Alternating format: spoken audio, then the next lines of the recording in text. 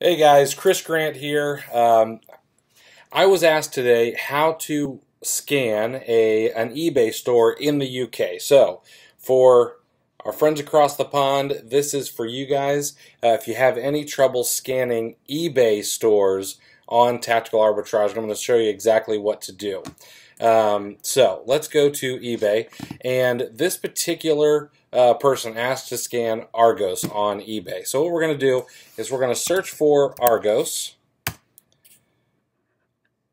And here we are. We're looking for Argos on eBay. We're going to click on their link here. Now, once you click on their link, it's going to take you to this page. All right.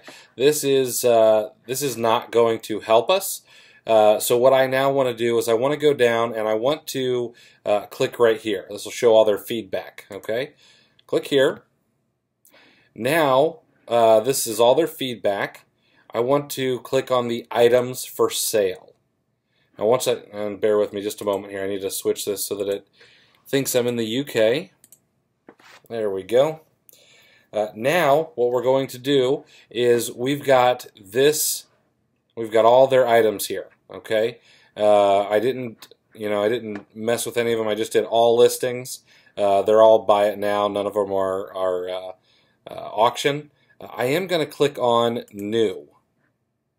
Okay, I'm going to click on new. That's going to take a few of the used ones out of there. Now I'm going to go in and I'm going to copy this URL. Control C. I'm going to go to my tactical arbitrage. You see, I set up. I'm set up for UK sourcing. The website I'm going to use is eBay.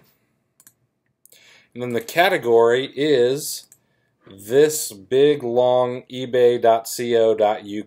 Okay, we copied that. So we're going to put that into our category. Uh, I'm going to leave my filters wide open.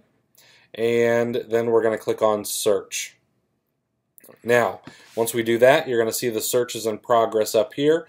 And if we open the logs, you can see that it is running. You see I skipped, already got that product, already got that product.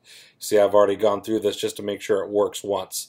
Uh, so that's exactly how you scan an, a specific eBay store on tactical arbitrage in the UK. If you guys have any questions at all, please let me know. Put them in the comments below. I can do another video if necessary uh, and dive a little bit deeper into this. So thanks, guys.